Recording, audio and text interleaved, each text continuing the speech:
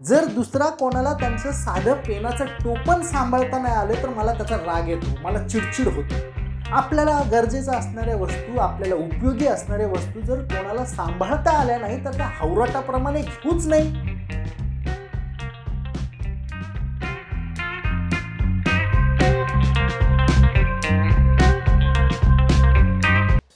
नमस्कार मित्रांनो मी हितेश दिवडकर. आपल्या सर्वांचं पुन्हा एकदा स्वागत करतो आपल्या यूट्यूब चॅनलच्या मी अँड माय डायरी या एपिसोडमध्ये चीजी वस्तू म्हटलं की जड जवाहर माणिक मोती दाग दागिनेच असले पाहिजे असं काही नाही ना? चीजी ज्या अतिशय महत्त्वाच्या अतिशय कष्टाने ज्या तुम्ही मिळवलेल्या असतात अशा वस्तूंनाही आपण चीजी वस्तू म्हणू शकतो की.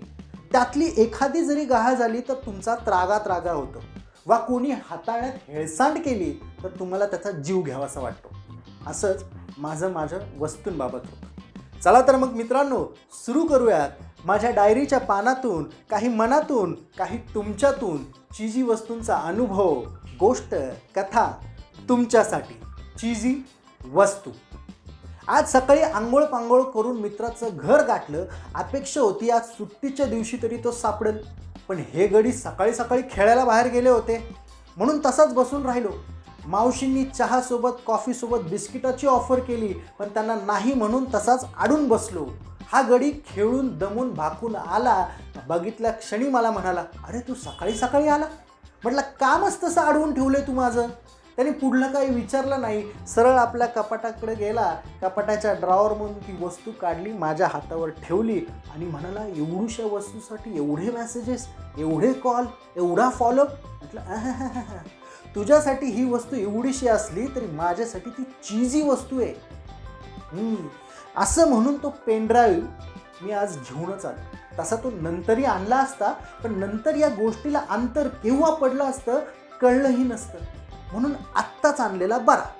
प्रश्न असा आहे की माझ्या वस्तू माझ्या आसपास असलेल्या मला आवडतात. भले त्या वस्तूंमुळं माझं काही लगेच काम निघणार नाही का माझी काही अडवणूक होणार नाही पण त्या वस्तू माझ्या आसपास हव्यात.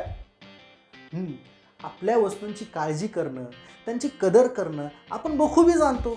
मी माझ्या वस्तूंबाबत माझ्या पुस्तकांबाबत माझ्या ठेवणीबाबत जेवढा आग्रही आहे तेवढंच मी इतरांच्या वस्तूंबाबतही आहे. जर दुसरा कोणाला त्यांचं साधं पेनाचं टोपण सांभाळता नाही आलं तर मला त्याचा राग येतो मला चिडचिड होते. आपल्याला गरजेचं असणाऱ्या वस्तू आपल्याला उपयोगी असणाऱ्या वस्तू जर कोणाला सांभाळता आल्या नाही तर त्या हवराटाप्रमाणे घेऊच नाही.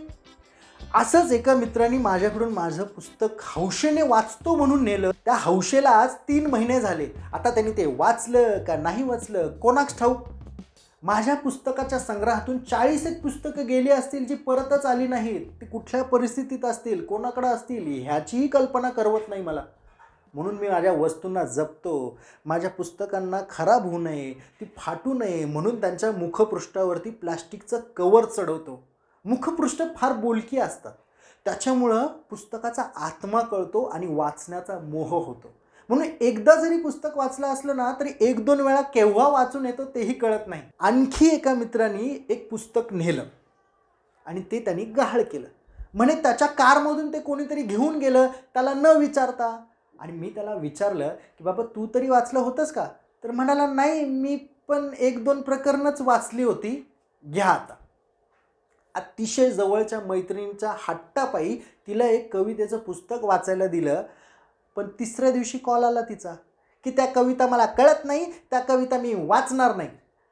झाली हाऊस आता मंगेश पाडगावकरांचा जिप्सी हा साधा सरळ काव्यसंग्रह जर तिच्या डोक्यावरून गेला असेल तर तिनं माझ्याजवळ आता टुमणं लावलंय ते सायकोलॉजीचं पुस्तक दे ना वाचायला.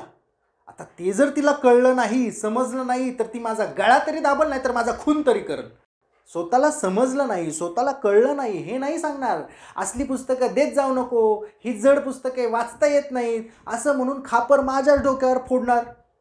पण मैत्री खातर मी ते पुस्तक तिला दिलं आणि संध्याकाळी परत घेऊन आलो. बाकीचं तुम्ही समजून घ्या. मला बरेच जण भेटतात भाऊ दादा सर हितेश आम्हाला काहीतरी वाचायला देत जा रे काहीतरी ऐकायला देत जा रे. पण ना ते ऐकत ना ते वाचत ना ते समजून घेण्याचा प्रयत्न करत. आम्हाला ते पटलं नाही कळलं नाही असा शिक्कामोर्तब करून मोकळे. अरे पण जरा समजून घेण्याचा प्रयत्न करा. थोडंसं चर्चा करून बघा. जर कुठं काही आडलं कुठं काही कळालं नाही तर ते विचारून बघण्याचा प्रयत्न करा. असले काही पेशन्सच नसतात. म्हणून मी आत्ता ठरवलं आहे की मी माझ्या वस्तू माझ्या खाजगीतली पुस्तके कोणालाही देणार नाही. म्हणतात ज्ञान दिल्याने वाढतं पुस्तकांना बांधून ठेवू नये त्यांना कुलूप बंद करू नये. पण दिलेली पुस्तकं वर्षानुवर्ष परतच येत नसतील तर त्याचं काय करायचं हे तुम्हीच सांगा. आणि तुमचीही जी जी वस्तू जर कोणी नेल्या असतील कोणी घाळ केल्या असतील त्या महाभागांविषयी तुम्हाला काय राग आहे ना तो कमेंटमध्ये नक्की कळवा.